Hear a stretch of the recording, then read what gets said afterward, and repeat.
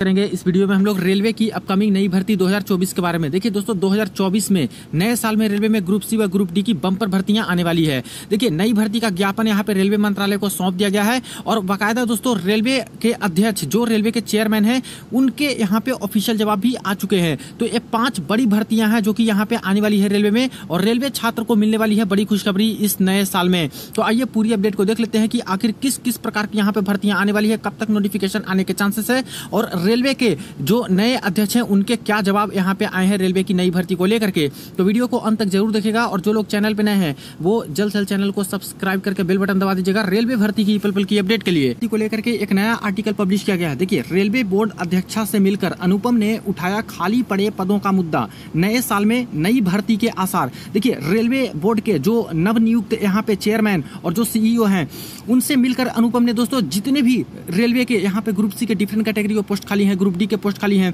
उन पदों को यहाँ पे भरने का मुद्दा उठाया है, एक ज्ञापन बकायदा दोस्तों इन्होंने सौंपा है और नई भर्ती के आसार भी जताए जा रहे हैं। अब देखिए, रेलवे के जो नए अध्यक्ष हैं, उनके द्वारा क्या कहे जा रहे हैं और आखिर ये अनुपम है कौन? तो देखिए, बेरोजगारी को राष्ट्रीय विमर्श का हिस्सा बनाने वाले और देश भर के युवाओं में मज़बूत पहचान बना चुके अनुपम ने जय वर्मा सिन्हा को रेलवे बोर्ड के शीर्षतम पद पर पहुँचने वाली पहली महिला होने के नाते बधाई और शुभकामनाएँ दी है। जैसे कि युवा हल्ला बोल में जो ये शामिल है। यहाँ पे दोस्तों अनुपम। काफ़ी नाम इनका है। हमेशा ये मुद्दा उठाते रहते हैं, भर्ती को लेकर के विभिन्न विभिन्न तरह की भर्ती को लेकर के और युवाओं की बात करते रहते हैं। तो जो नवनियुक्त यहाँ पे रेलवे के, रेलवे बोर्ड के जो चेयरमैन और यहाँ पे सीईओ नियुक्त किए गए हैं। जया वर्मा सिन्हा, उनसे ये मिले हैं और दोस्तों, यहाँ पे ज्ञापन सौंपा गया है इनके तरफ़ से और बधाई भी इनके तरफ़ से दी गई है। अब रेलवे के छात्र के लिए क्या मुद्दा इनके तरफ़ से उठाया गया है, वो देख लीजिए। तीस दिसंबर के डेट का ही ये दोस्तों न्यूज़ है, जो कि पब्लिश किया गया है एनडीटीवी में। ये जो नवनियुक्त है, पहली बार दोस्तों ऐसा हो रहा है, जो कि कोई महिला है, जो कि यहाँ पे रेलवे बोर्ड के अध्यक्ष व सीईओ के पद पर नियुक्त किए गए हैं। देखिए, बैठक में अनुपम के अलावा सेवानिवृत्त आईपीएस आईपीएस यशोवर्धन झा आज़ाद भी मौजूद रहे जो युवा हल्ला बोल आंदोलन के मार्गदर्शकों में से हैं। अब इसमें देखिएगा पूरी अपडेट। सबसे पहले तो खास बातों में ऊपर ही लिखा गया हाईलाइट में कि नए साल में नई भर्ती के आसार। सेकेंड में दिया गया है, भारतीय रेलवे सुरक्षा श्रेणी के 1.77 लाख पोस्ट खाली हैं। ये दोस्तों बहुत बड़ी संख्या है और सिर्फ़ और सिर्फ़ सुरक्षा श्रेणी, यानी कि सेफ्टी कैटेगरी वाली पोस्ट की ये बात कही जा रही है। नॉन सेफ्टी की तो बात ही अभी नहीं की जा रही है। तो दोनों को मिलाकर के देखा जाए तो बहुत सारे पोस्ट तीन लाख से भी ज़्यादा पोस्ट यहाँ पे खाली हैं। तो अकेले सेफ्टी कैटेगरी में इतने सारे पोस्ट यहाँ पे खाली हैं। नए साल में नई भर्ती लाने की मांग की। अब यहाँ से पूरी अपडेट को देखिएगा। रेलवे रिक्रूटमेंट दो हज़ार चौबीस।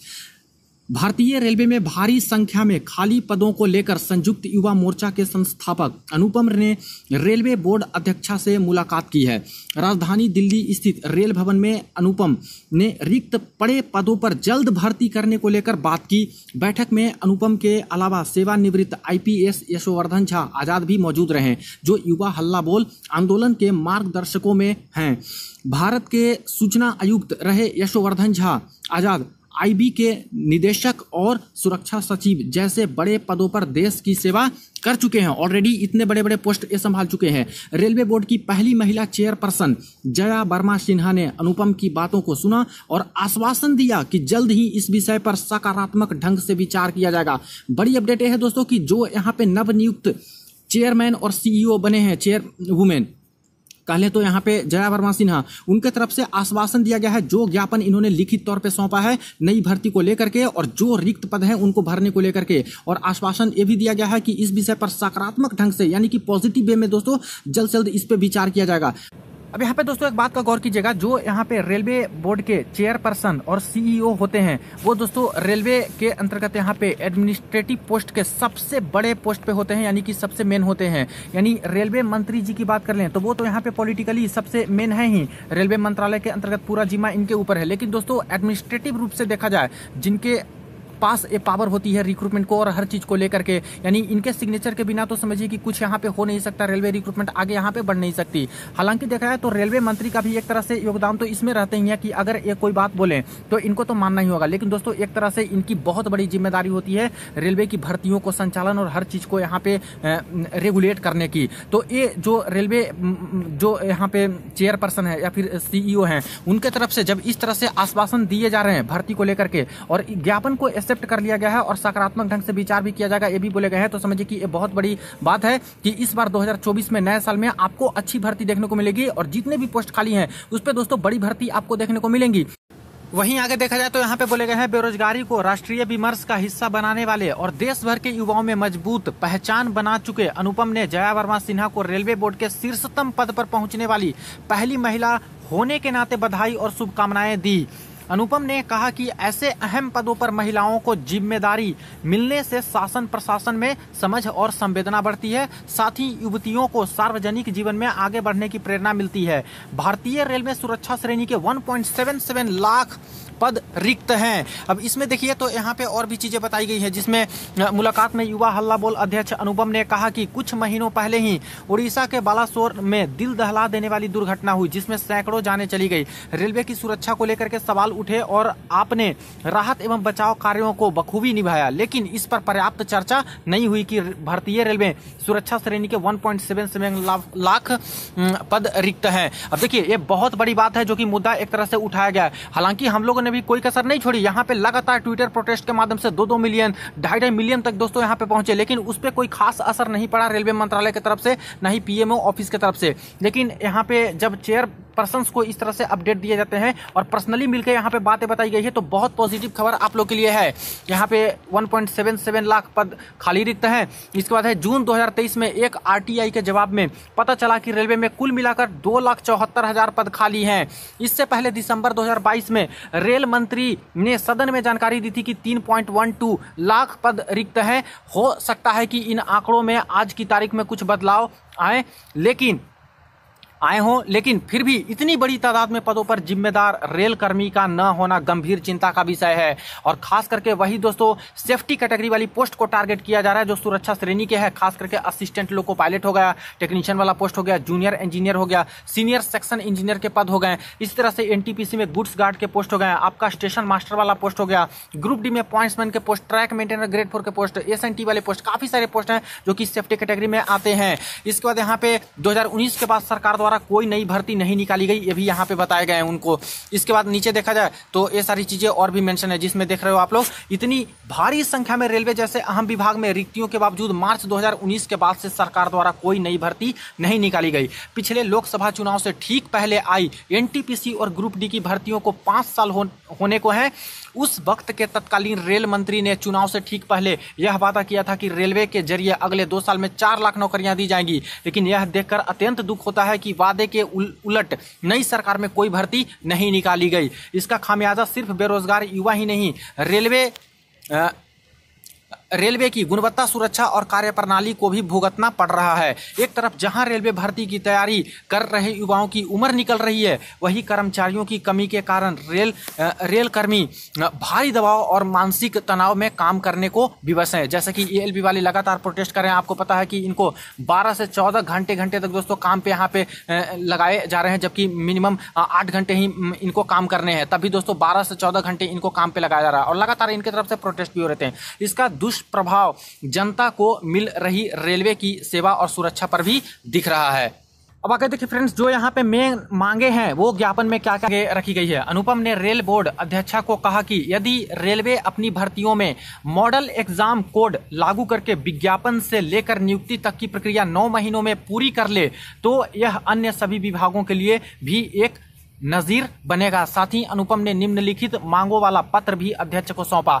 तो एक तरह से दोस्तों, देखिए कितना बड़ा चीज़ है जो कि इनके तरफ़ से एक मांग की जा रही है रेलवे के छात्र के हित में। यहाँ पे नौ महीने के अंतर्गत यहाँ पे जो नियुक्ति जो यहाँ पे एग्ज़ाम के नोटिफिकेशन से लेकर नियुक्ति तक की प्रक्रिया को यहाँ पे करने के लिए बोले जा रहे हैं, प्रोसेस करने के लिए। अगर ऐसा रेलवे करती है तो इससे अच्छा कुछ नहीं हो सकता। अगर एक साल के अंदर अंदर भी सारा कुछ प्रोसेस करा के देते हैं, तब भी दोस्तों लगभग हर साल, चाहे हर दो साल में आपको नई भर्तियाँ देखने को मिल सकती है। लेकिन ऐसा होता कहाँ है? लगातार पिछले दस सालों से देख रहे हो पाँच साल बाद यहाँ पे नई रिक्रूटमेंट आ रही है। हम्म, कभी तीन साल बाद ऐसे करके हो रहे हैं और एक एक रिक्रूटमेंट को पूरा करने में यहाँ पे पाँच पाँच साल रेलवे लगा ही दे रही है। भले वैकेंसी बड़ी आती है डेढ़ लाख आती है दो लाख आती है लेकिन तब भी तो दोस्तों यहाँ पे पाँच पाँच साल लगा दे रहे हैं। जिससे सबसे बड़ा खामियाजा तो उन छात्रों को भुगतना पड़ रहा है जिनका एज निकल जा रहा है और वो यहाँ पे भर ही नहीं पा रहे हैं। तो ये बहुत बड़ा डिमेरिट एक तरह से है। तो इसलिए यहाँ पे जो चीज़ें यहाँ पे कही गई है उसको अगर फॉलो करती है इस मॉडल को, तब बहुत अच्छा होगा। और एक चीज़ जो यहाँ पे जो मांग वाली पत्र रखी गई है, उसमें देखिए क्या क्या मांगे रखी गई है। सबसे पहले,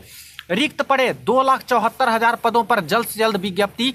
विज्ञापन जारी किया जाए। ये मांग यहाँ पे रख दी गई है चेयरपर्सन से, रेलवे के जो हेड हैं उनसे, कि जल्द से जल्द नोटिफिकेशन जारी किए जाए। भर्ती प्रक्रिया में मॉडल एग्ज़ाम कोड लागू कर नौ महीने के अंदर विज्ञापन से नियुक्ति तक के सभी चरण पूरे हों। इसके बाद यहाँ पे थर्ड मांग है, रेलवे में नियमित कार्यों से संबंधित नौकरियों को ठेके पर देना या आउटसोर्स करना बंद किया जाए। जैसे कि पिछले कई सालों में दोस्तों, लगातार ठेके पे यहाँ पे नौकरियाँ दी जा रही है। भले एक साल के लिए, दो साल के लिए दे रहे हैं, लेकिन तब भी अगर इनके काम चल जा रहे हैं ठेके पे नौकरी करवा करके तो क्यों ही नहीं रिक्रूटमेंट निकालेंगे? तो इसलिए यहाँ पे बहुत बड़ी मांग भी एक तरह से है कि ठेका पे बंद कीजिए, आप लोग नौकरी देना आउटसोर्स के माध्यम से। तभी तो रेगुलर इंप्लॉय की भर्ती आप लोग करा पाओगे और ठीक तरीके से रेलवे का यहाँ पे चालन भी होगा।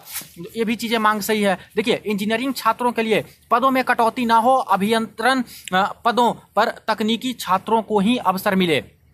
एक चीज़ें भी अच्छी मांग एक तरह से कर सकते हो और खास करके इंजीनियरिंग वाले छात्र के लिए बहुत अच्छी पहल एक तरह से की गई है। देखिए, क्या होता है रेलवे में दोस्तों कि हर साल जूनियर टेक्निकल एसोसिएट के पोस्ट निकाले जाते हैं जो कि ठेके पे दो साल के लिए होते हैं और ये दोस्तों जो बीटेक वाले होते हैं, जो डिप्लोमा वाले होते हैं, उनको ये मौका मिलता है। और कौन से पोस्ट के बराबर माना जाता है? जूनियर इंजीनियर के पोस्ट पे और सीनियर सेक्शन इंजीनियर के पोस्ट के बराबर माने जाते हैं, जबकि सैलरी कितनी मिलती है? मात्र पच्चीस और जूनियर इंजीनियर एस की सैलरी कितनी है? साठ से सत्तर हज़ार के करीब यहाँ पे चली जाती है। समझिए कि स्टार्टिंग में ही। तो देखिए 25 25 साल में इनके काम जब जेई और एसएससी के हो जा रहे हैं तो क्यों नहीं भर्ती निकालेंगे? तो ये सारी चीज़ें हैं। तो जेटीए के आप लोग भर्ती निकालोगे, यानी कि इंजीनियरिंग छात्र के साथ धोखा कर रहे हो। इसलिए यहाँ पे बिल्कुल कटौती नहीं होनी चाहिए इंजीनियरिंग के पदों में। और जेटीए और ये सब जो पोस्ट है, इसको बंद करके रेगुलर इंप्लॉय की भर्ती कराएँ। Junior engineer senior section engineer ये सब की भर्ती यहाँ पे आनी चाहिए। और तकनीकी छात्र को यहाँ पे नौकरी मिले इंजीनियरिंग वाले पोस्ट पे।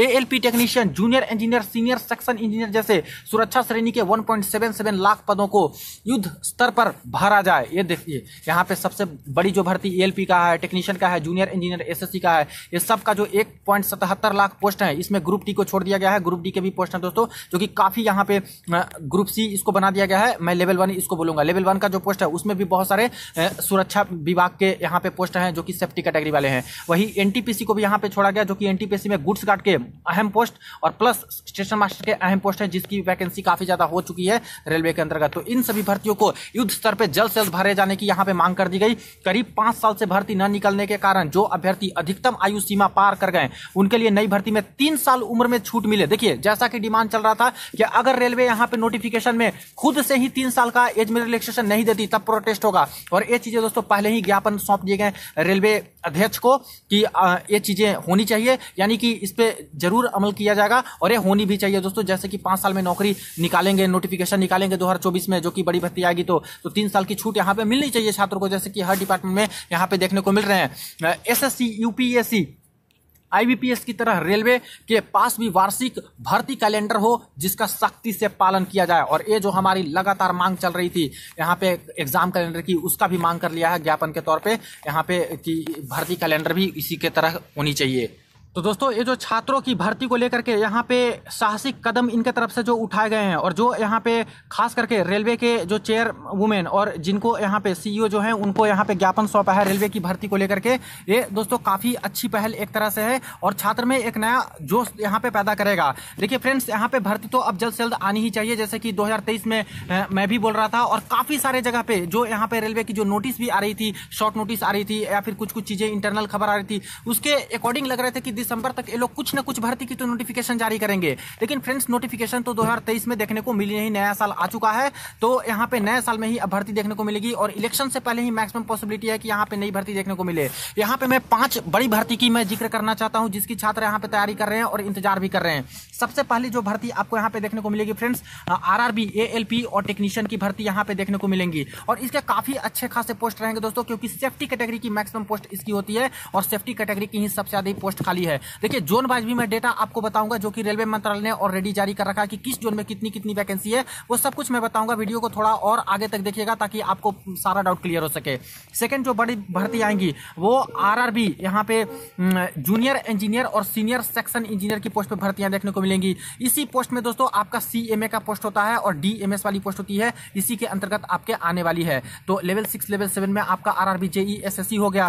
थर्ड जो बड़ी पोस्ट आपको देखने को मिलेगी, बड़ी भर्ती देखने को मिलेगी मिलेगी। वो दोस्तों, आरआरसी ग्रुप डी की भर्ती देखने को मिलेगी अगेन। अभी देखिए, ग्रुप डी की रिक्रूटमेंट चल रही है लेवल वन वाली, लेकिन फिर भी 2019 की ही तो ये रिक्रूटमेंट है जो कि इतना लंबा खींचा चला आ रहा है। उसके बाद भी तो काफ़ी सारे पोस्ट यहाँ पे वैकेंट हो चुके हैं सेफ्टी कैटेगरी के तो वो तो भरनी ही भरनी है रेलवे को। इसलिए यहाँ पे लेवल वन ग्रुप डी की पोस्ट पर भी अच्छी खासे नंबर में आपको भर्तियाँ देखने को मिलेगी। पैंसठ प्लस पोस्ट हो सकते हैं करीब करीब जब भर्ती दे दो का आकलन करें तो हो सकता है एक लाख तक पार लोग कर दें रेलवे ग्रुप डी की ही भर्ती को देने में। तो ये थर्ड यहाँ पे बड़ी भर्ती फोर्थ भर्ती के बारे में बात करें तो फोर्थ यहाँ पे RPF RPF, SI and constable के पोस्ट पे भर्तियाँ आएँगी और ये भी कंफर्म आपकी आने वाली है। इसकी जो शॉर्ट नोटिस और कमेटी का गठन सब कुछ हो चुका है दोस्तों कि कैसे एग्ज़ाम होने वाले हैं। तो आरपीएफ, एसआई कांस्टेबल के करीब करीब पंद्रह हज़ार के आसपास पोस्ट आपको देखने को मिल सकते हैं। इसी में एक पोस्ट होता है एनसिलियरी करके, एनसिलियरी कांस्टेबल। तो आरपीएफ, एसआई, कांस्टेबल और एनसिलियरी तीनों को मिलाकर के देखा है तो पंद्रह हज़ार के करीब आ सकता है, वरना एनसिलियरी को नहीं देते हैं, जो कि नॉन सेफ्टी में आती है, सिर्फ़ सेफ्टी वाली देते हैं। तो ऐसे केस में यहाँ पे बारह हज़ार के आसपास आपको पोस्ट इसकी देखने को मिल सकती है। फिफ्थ, यहाँ पे जो बड़ी भर्ती आपको देखने को मिलेंगी, वो दोस्तों आपको देखने को मिलेंगी।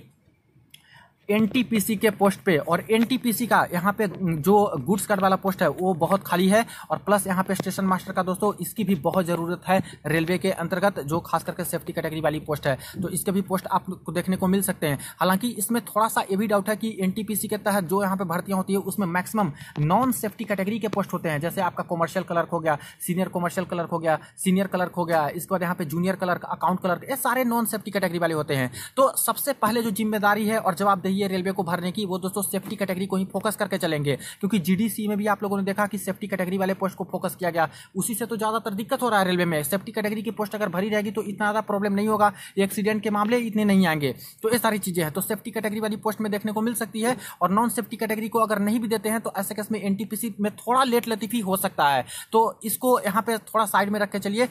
सेफ्टी कैटेगरी में एसएम वाली और गुड्स कार वाली पोस्ट एनटीपीसी के तहत खाली है। बाकी ज़्यादातर नॉन सेफ्टी में आती है। तो हो सकता है कि इस बार जल्द से जल्द दें, या फिर आगे के साल में, या फिर आगे के दिनों में, दोस्तों, कुछ महीनों के बाद ये लोग हो सकते हैं कि बाद में नोटिफिकेशन निकालें।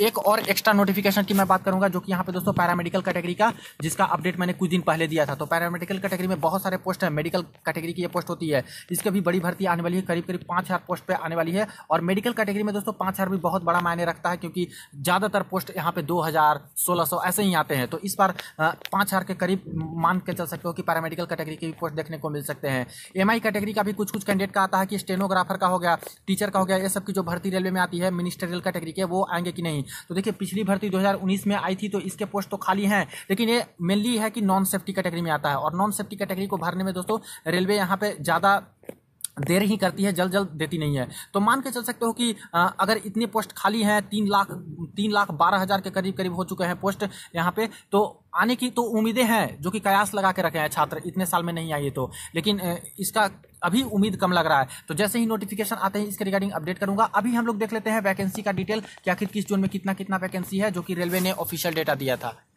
देखिए फ्रेंड्स रेलवे मंत्रालय की तरफ़ से जो यहाँ पे अपडेट दिए गए थे, भर्ती को लेकर के और वैकेंसीज को लेकर के जोन वाइज वो कुछ इस प्रकार से था। एक एक जुलाई 2023 तक के डेटा यहाँ पे दिए गए हैं। जिसमें बात करें तो जोनल रेलवे यहाँ पे दिया गया है गजेटेड पोस्ट, जो कि खास करके ग्रुप ए और ग्रुप बी की पोस्ट आती है। और ये दोस्तों डायरेक्ट रिक्रूटमेंट नहीं होता है आरआरबी, आरआरसी से यूपीएससी के थ्रू होता है। तो इसको तो छोड़ के चलिए, क्योंकि मैक्सिमम जो रेलवे की तैयारी करते हैं, या तो ग्रुप सी, या तो ग्रुप डी वाले पोस्ट की ही तैयारी करते हैं, जो कि मैक्सिमम इसी का भर्ती तो इंतज़ार करते हैं भर्ती का। तो सेंट्रल रेलवे में बात करें तो यहाँ पे non gazetted post group C, group D की बात करें तो पच्चीस पद खाली है। यानी कि वैकेंसी जो देखने को मिलेगी एलपी की देखने को मिले टेक्नीशियन की जूनियर इंजीनियर ये सब की देखने को मिलेंगी। उसमें बहुत ज़्यादा वैकेंसी यहाँ पे सेंट्रल रेलवे में देखने को मिलेंगी। ईस्ट कोस्ट रेलवे भुवनेश्वर में आठ हज़ार एक सौ चौदह पोस्ट खाली है। सभी पोस्ट को मिलाकर के ये डेटा दिया गया ठीक है? ईस्ट सेंट्रल रेलवे हाजीपुर या फिर पटना जोन में बारह पोस्ट खाली है। ईस्टर्न रेलवे कोलकाता में उनतीस पोस्ट खाली है। वही यहाँ पे दोस्तों मेट्रो रेलवे कोलकाता के अंतर्गत नौ सौ तिरानवे पोस्ट खाली है। इसके बाद North Central Railway Allahabad zone में बात करें तो पंद्रह पोस्ट खाली है। North Eastern Railway Gorakhpur zone में बात करें तो बारह पोस्ट यहाँ पे खाली है। इसके बाद देखा जाए तो North East Frontier Railway Guwahati zone में बात करें तो बारह पोस्ट खाली। नॉर्दर्न रेलवे दिल्ली जोन में देखिए बत्तीस पोस्ट, यानी जो भर्तियाँ आएँगी फ्यूचर में दोस्तों, और जो अपकमिंग भर्तियाँ हैं, ग्रुप सी वाली मैक्सिमम पोस्ट उसमें सबसे ज़्यादा एक तरह से कह सकते हो कि नॉर्दर्न रेलवे से वैकेंसी देखने को मिलेंगी। वही नेक्स्ट आता है North Western Railway Jaipur zone तो यहाँ पे नौ हज़ार आठ सौ तेरह पोस्ट खाली है। South Central Railway Secunderabad zone में दस पोस्ट खाली है। South East Central Railway Bilaspur zone में सात हज़ार सात सौ छियानवे पोस्ट खाली है। South Eastern Eastern Railway Kolkata zone या फिर रांची जोन में बात करें तो तेरह हज़ार चार सौ बत्तीस पोस्ट खाली हैं ग्रुप सी व ग्रुप डी के। साउदर्न रेलवे चेन्नई जोन में बात करें तो पंद्रह हज़ार दो सौ चालीस पोस्ट खाली हैं। South Western Railway Hubli zone में बात करें तो चार हज़ार आठ सौ तैतालीस पोस्ट खाली हैं। इसमें काफ़ी कम पोस्ट खाली हैं। वही वेस्ट सेंट्रल रेलवे जोन बात करें तो वेस्ट सेंट्रल रेलवे यहाँ पे जबलपुर जोन में बात करें, भोपाल जोन तो ग्यारह हज़ार एक सौ बयालीस पोस्ट खाली। और वेस्टर्न रेलवे में बात करें, अहमदाबाद जोन या फिर मुंबई जोन तो वेस्टर्न रेलवे में पच्चीस हज़ार पाँच सौ संतानवे या यानी कि यहाँ भी अच्छे खासे पोस्ट खाली हैं। और इसके बाद प्रोडक्शन यूनिट और अदर यूनिट में बात करें, जैसे वर्कशॉप पे सब होता है तो बारह प्रोडक्शन यूनिट में यहाँ पे पोस्ट खाली है। यानी टोटल बात करें तो दो लाख इकसठ हज़ार दो सौ तैतीस पोस्ट दोस्तों यहाँ पे खाली हैं। Safety category plus non safety category मिला करके, और एक सौ सतहत्तर लाख 1.77 लाख तो अकेले दोस्तों यहाँ पे सेफ्टी कैटेगरी वाले पोस्ट खाली हैं। यहाँ पे ये बात कब की कही गई है तो ध्यान दीजिएगा, ये जो डेटा दिए गए हैं रेलवे मंत्रालय की तरफ़ से, एक सात दो का दिया गया है, और अब तो 2024 आ चुका है तो 2000 तेईस वाले का, जो यहाँ पे रिटायरमेंट लेंगे, करीब करीब बयालीस हज़ार के आसपास इंप्लॉय उसको भी तो ऐड करना होगा। तो समझिए, तीन लाख तो ऐसे भी दोस्तों क्रॉस यहाँ पे कर जाएँगे। तो हर जोन में ठीक ठाक नंबर और पोस्ट खाली है दोस्तों, और नई, नए साल में आपको नई भर्तियाँ यहाँ पे जल्द से जल्द देखने को मिलेगी। आशा है कि जल्द से जल्द इलेक्शन से पहले ये लोग यहाँ पे नोटिफिकेशन जारी कर दे लगातार, और ताकि छात्र यहाँ पे अपना फॉर्म भर के और बाकी सारी चीज़ें हैं, जो कि यहाँ पे एग्ज़ाम भी जल्द से जल्द लिए जाए। तो पॉजिटिविटी आप लोग भी बना के रखिए, और जो ज्ञापन सौंपे गए हैं पर्सनली दोस्तों चेयर वुमेन की तरफ़ से जो अपडेट यहाँ पे दिए गए, जो यहाँ पे सकारात्मक विचार के तहत वो चल रही है। तो इसके अकॉर्डिंग लग रहा है कि खुशखबरी तो जल्द आपको देखने को मिलेंगी। तो जैसे ही भर्ती की नोटिफिकेशन आती है, सबसे पहले आपको अपडेट करूँगा, चाहे शॉर्ट नोटिस या फिर कोई भी सेंट्रलाइज इंप्लॉयमेंट नोटिस आती है, आपको इन्फॉर्म कर दूँगा इसके ऊपर आपको क्या करना है, ज़रूर कमेंट सेक्शन में बता सकते हो। वीडियो को जो है दोस्तों के साथ शेयर कर दीजिएगा। चलिए मिलते हैं नेक्स्ट वीडियो में नेक्स्ट अपडेट में।